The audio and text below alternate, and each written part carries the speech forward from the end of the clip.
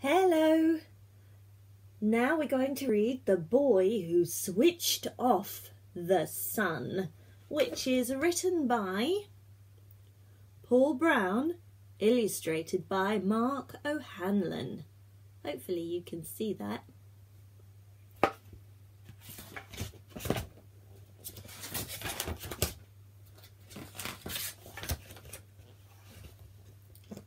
Little Marcel didn't just like ice cream, he absolutely completely loved the stuff. Well, I mean, kids, who can blame him? I personally love ice cream myself. In fact, he loved it so much he had secret stockpiles hidden in every corner of his house. With his toys? Where's that, do we think? On top of the wardrobe? In the washing machine? No. Surely not. And here with his dog. And his dog seems to be called Mr. Whippy. Oh, that's my favourite, Mr. Whippy. He liked nothing more than enjoying a big, delicious scoop while sat on his favourite bench by the beach. But there was a problem, a very big problem. The sun! Its hot, sweltering rays always turned his delicious frozen treat into a dripping, mushy mess long before he could finish it. Ah, poor Marcel. Then, from out of nowhere, he had an amazing idea. The sun was just like an enormous dazzling light bulb dangling in the sky. That's it, shouted Marcel. I'll just switch off the sun but the sun was millions and millions of miles away. Marcel would need to build a super fast solar panelled space rocket if he was ever going to travel that far. So, after weeks of building, banging, drilling, and clanging, he proudly added the finishing touch to his gleaming spacecraft. Wow, that is quite a gleaming spacecraft. I like the colours he's chosen. That night, Marcel was so excited he hardly slept a wink. Next morning, he leapt out of bed and ran down to prepare for launch. It was perfect rocket flying weather.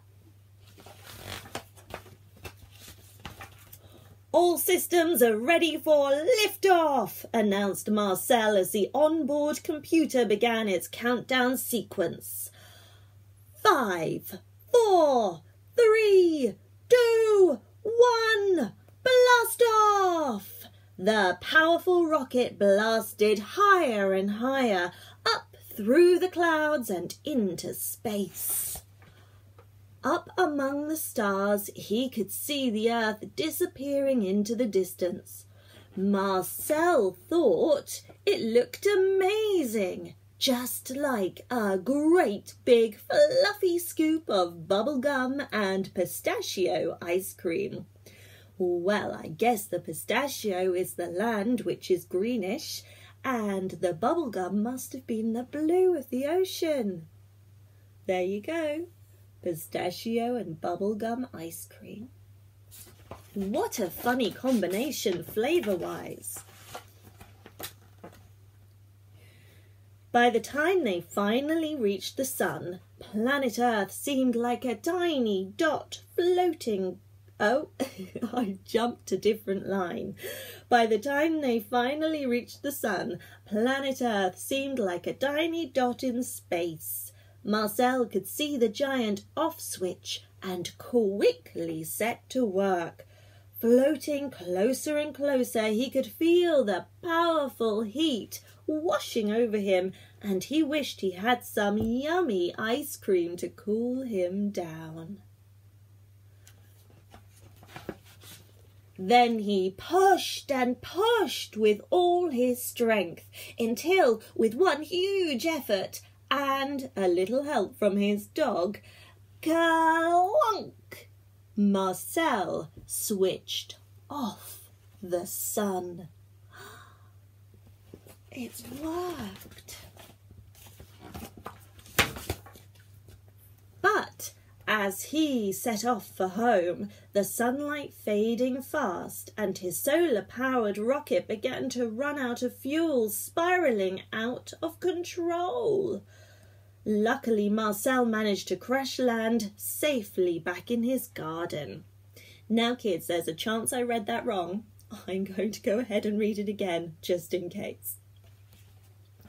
But as he set off for home, the sunlight faded fast and his solar powered rocket began to run out of fuel, spiraling out of control.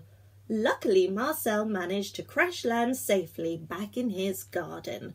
Phew, of all the places on earth he could have landed, it's a really good thing he landed in his garden.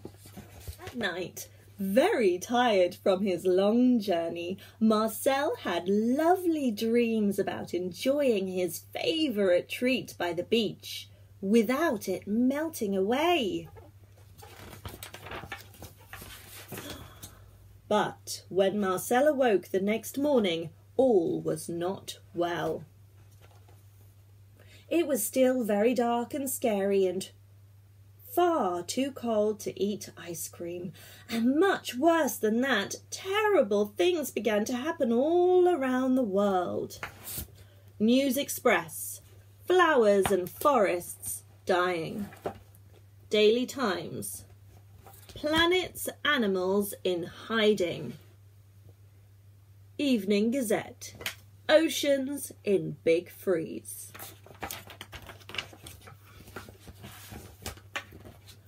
Marcel realized he had made the biggest mistake of all time. He must switch the sun back on without delay. Oh no! But without the sun's energy, his solar powered rocket just wouldn't work. He needed to think of a solution, and quickly. And there was one thing that always helped Marcel to think more clearly strawberry cheesecake ice cream. Of course. of course, Marcel needs ice cream. As he tucked into a supersized scoop, the idea suddenly struck him. He would build a giant catapult to fire an enormous ball of ice cream straight at the sun's on switch. Oh, great plan!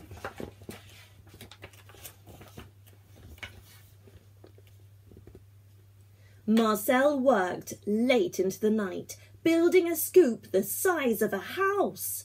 It was so utterly enormous it used up his entire stockpile of ice cream, so he knew he would only have one shot at the sun.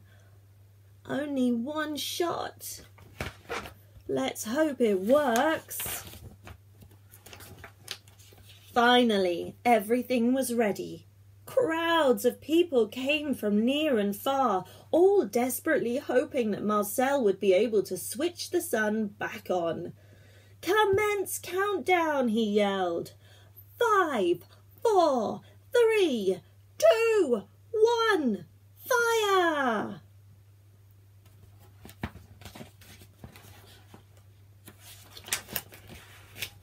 Everybody watched in wonder as the giant ball of deliciousness. Everybody, wa- I'm really sorry, I've made a lot of mistakes during this one, haven't I, kids? Everybody watched in wonder as the giant ball of deliciousness hurtled towards the sun. Oh no! shouted Marcel.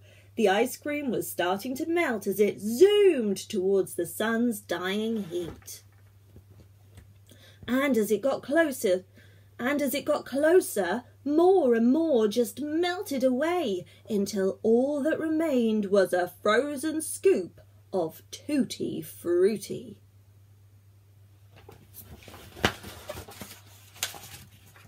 Then. Everyone held their breath as a solid chunk of ice cream, as the solid icy chunk. Will we get to the end of this book? That's the question. Everyone held their breath as the solid icy chunk landed a direct hit at the sun's on switch. But nothing seemed to happen. Had Marcel's plan failed? Angry and disappointed, the crowd started to walk away. Then suddenly the sky was filled with the brightest light anyone had ever seen. Hooray! Everyone cheered and ran, dancing into the streets. The next day, all around the world, everything began to return to normal. World's oceans defrost. Animals come out of hiding. Flowers and forests come alive for you. And although it was a drippy, melting mess, Marcel was very happy to be sitting on his favourite bench eating his ice cream. And so was his dog. The end. Well, goodness, I'm so pleased he managed to get the sun back on again. That was a difficult read for me, I don't know why, I just made an awful lot of mistakes, so I am very sorry, kids. I hope it didn't ruin it for you, but I really feel for Marcel. It must be awful to be the one that made such a huge mistake. And then to have let everyone down. But then it worked. I mean, thank goodness. But I guess that does happen sometimes, doesn't it? We do we do make mistakes and then we do feel very bad about it and it makes it worse when we've let the people down around us and it's really important when we make mistakes not to pretend it didn't happen. Marcel could have very easily hidden in his home in the dark and let somebody else fix it. But instead, he came up with a solution. And he could have pretended he was nothing to do with it. But instead, he obviously owned up to it because people knew that it was him because people came round his house to see him build his giant catapult. So I guess that's the take home from this story. First of all, ice cream is amazing. And secondly, if you make a mistake, it's okay. Just like I made loads of mistakes reading this book. It's okay to make a mistake.